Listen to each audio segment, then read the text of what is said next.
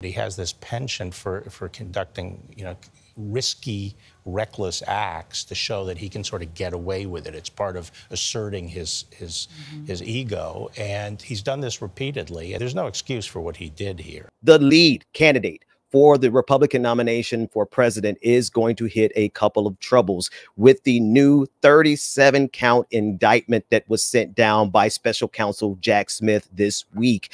Uh, we are looking, I believe, on Tuesday for Donald Trump to be arraigned formally down in Florida. Uh, but I want to take a listen to Jack Smith as he gives a summary of the why, the who, what, when, where, and why former President Donald Trump has been indicted yet for a second time. Today, an indictment was unsealed, charging Donald J. Trump with felony violations of our national security laws, as well as participating in a conspiracy to obstruct justice. And I invite everyone to read it in full to understand the scope and the gravity of the crimes charged. My office will seek a speedy trial in this matter, consistent with the public interest and the rights of the accused. We very much look forward to presenting our case to a jury of citizens in the Southern District of Florida. However, this plays out, Donald Trump is not above the law.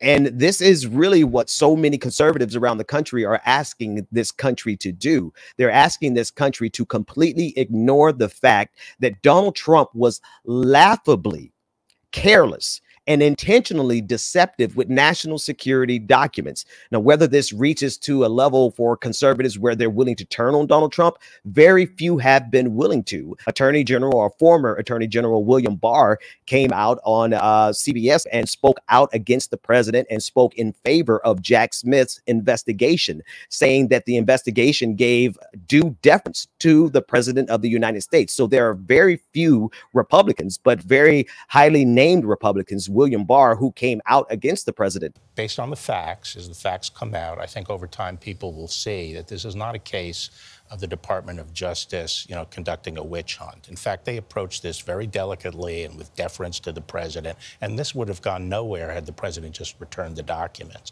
But he jerked them around for a year and a half, and the question is, did he deceive them? And if there's evidence of that, uh, I think people will start to see that this says more about Trump than it does the Department of Justice, and that is that he, uh, he's so egotistical that he has this penchant for, for conducting, you know, risky, reckless acts to show that he can sort of get away with it. It's part of asserting his his mm-hmm. his ego, and he's done this repeatedly at the expense of all the people who depend on him to conduct the public's business in an honorable way. And, you know, we saw that with both impeachments, and there's no excuse for what he did here. For the most part, Republicans have coalesced around the former president, and this seems to be helping his case to um, become the next nominee for the Republican Party.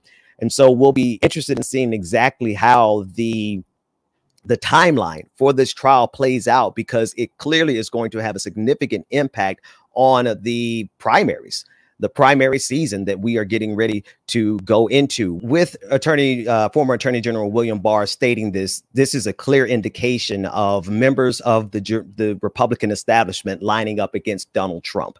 This is the one opportunity that the establishment of the Republican Party has to finally sever ties. This is their only opportunity that the establishment, the former establishment of the Republican Party that existed prior to Donald Trump, this is their last opportunity to finally rid themselves of the scourge that is Donald Trump. We saw Chris Christie come out last week announcing that he was going to run for president, and his choice for a strategy was to very directly attack the president, the former president. This lets me know again that the Republican establishment is coalesced around Ron DeSantis.